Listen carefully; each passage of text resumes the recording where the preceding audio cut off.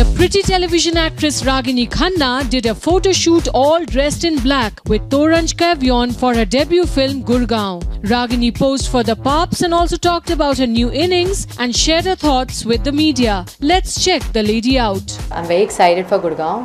चार अगस्त को रिलीज़ हो रही है आप प्लीज़ सब जाके देखें अपने नज़दीकी सिनेमा घरों में बहुत दिल के करीब है ये फ़िल्म मेरे और मैं चाहूँगी कि ऑडियंस इस फ़िल्म को एक मौका दें क्योंकि एक बहुत अच्छी बेहतरीन फ़िल्म है ये क्राइम थ्रिलर है और ये कहानी है इस परिवार की और बहुत सारी चीज़ों को साथ में लेके चल रहे हैं हम एक ही साथ में। गुड़गांव के ऊपर कहानी है, इस परिवार के ऊपर कहानी है, ये कैरेक्टर्स के ऊपर कहानी है। बहुत एक एक से एक कड़ी जुड़ती है और कैसे बहुत कुछ टर्न ऑफ़ इवेंट्स होते हैं इस फ़िल्म में, ये उसके बारे में।